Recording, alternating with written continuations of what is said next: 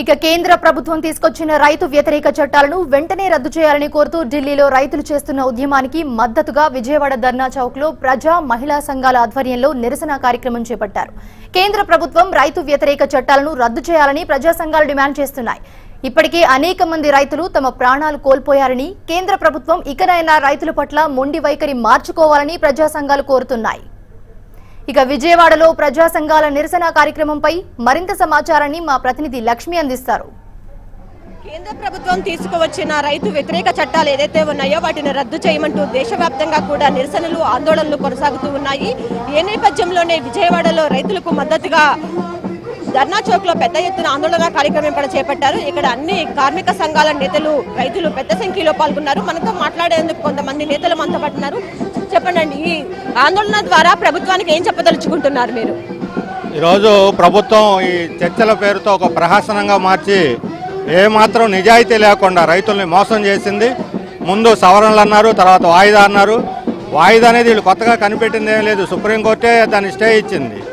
సవరణలు ఎప్పుడో తిరస్కరించాం. ఇప్పుడు కావాలని వాయిదా పేరుతోటి చర్చలను నిలిపేయడం అనేది ప్రభుత్వం యొక్క మోసకారితనాన్ని పెట్టబయలు చేస్తుంది. అందుకని ఈ చట్టాలను వెనక్కి తీసుకోవడం తప్ప మరో మార్గం లేదు. చట్టరీత్యా కూడా వాయిదాకు అవకాశం లేదు.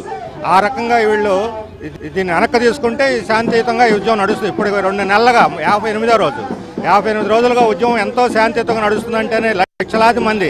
ఇది ఒక చారిత్రాత్మకమైనటువంటి విషయం. ఇప్పటికైనా కళ్ళు తెరిచి మోడీ ప్రభుత్వం ఉపసంహరించుకోవాలి. లేదంటే ఇరవై ఆరో తేదీ తర్వాత మరింత ఉధృతం అవుతుందని చెప్పి మేము హెచ్చరిస్తా ఉన్నాం.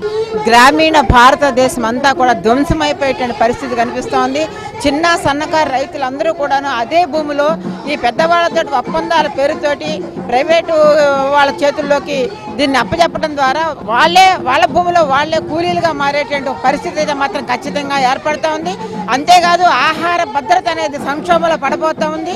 ఆహార భద్రత సంక్షోభంలో పడితే ఇప్పటికే మొత్తం అంతా కూడా ఆరోగ్యకరమైన పరిస్థితి లేదు. చిన్నపిల్లలంతా పౌష్టికాహార లోపంతో చాలా పెద్ద ఎత్తున తీవ్రమైన సంక్షోభంలో ఉన్న నేపథ్యంలో ఇది యాభై ఎనిమిది రోజులుగా సాగుతున్న ఉద్యమాన్ని నిర్వీర్యం చేయాలని కుట్రపూరితంగా పది తపతపాలుగా చర్చల పేరుతోటి దీన్ని కాలయాపన చేస్తూ ఉన్నారు.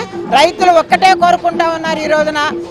అయితే రద్దు చేయండి. లేదా మా ఉద్యమం కొనసాగుతుంది అన్నారు భవిష్యత్తులో మరింత తీవ్ర రూపం దాల్చబోతోందనేది ఉద్యమం ఖచ్చితంగా స్పష్టంగా చెప్పగలం. రైతు నాయకులందరూ ప్రకటించింది ఏమిటి అంటే ఈ సమస్య ఇప్పుడు పరిష్కారం చేయకపోతే మోడీ ఇది రెండు వేల ఇరవై నాలుగు వరకు ఇది కొనసాగుతుంది. వాళ్ళు మొదట ప్రకటించింది ఆరు నెలల పాటు మేము ఇక్కడ ఉండడానికి సిద్ధమై వచ్చాము అని. ఇన్ని రౌండ్ల చర్చలు కూడా పక్కదారి పట్టించడానికి తప్ప ఇంకొకటి కాదు అనేది అర్థమైంది. ఈరోజు తోమర్ ప్రకటించాడు. ఆయనకి రైతులు కనిపించడం లేదు. రైతులు వెనకున్న శక్తులు కనిపిస్తా ఉన్నాయి. సో మేం చెప్పదలుచుకున్నాము అయ్యా తోమర్ గారు మోడీ గారు మీరు గద్దె మీద చిరస్థాయిగా ఉండాలంటే రైతు సమస్యల్ని పరిష్కారం చేయండి.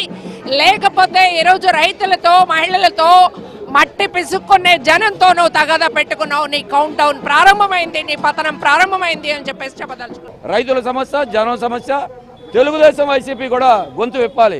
రాష్ట్రాల హక్కులను హరిస్తున్నారు. కేంద్రం పెత్తనం చేస్తుంది. అయినా మీరు మాట్లాడకపోతే తప్పు. అందుకే ఇది పార్టీలకు అతీతంగా. రైతులకు అండగా నిలబడతారా? లేదు అంబానీ అదానీలు మోడీలకు అండగా నిలబడతారో తెలుసుకోవాలి. దానికోసం ఉద్యమం ఆగదని దేశవ్యాప్తంగా ఇది పంజాబ్ సమస్య కాదు. దేశం సమస్య దేశమంతా ఈ పోరాటం సాగుతుంది. ఇక్కడ ఉన్నటువంటి వాళ్ళంతా ఒకటే చెప్తున్నారు. ఇప్పటికైనా సరే కేంద్ర ప్రభుత్వం స్పందించాలి. ఏదైతే రైతులకు వ్యతిరేకంగా మూడు చట్టాలను తీసుకుని వచ్చారో దానిని తక్షణమే రద్దు చేయాలని చెప్పి ఇక్కడ ఉన్నటువంటి ప్రజా సంఘాల నేతలంతా కూడా కోరుకుంటున్న పరిస్థితి ఇక్కడ కనిపిస్తా ఉంది.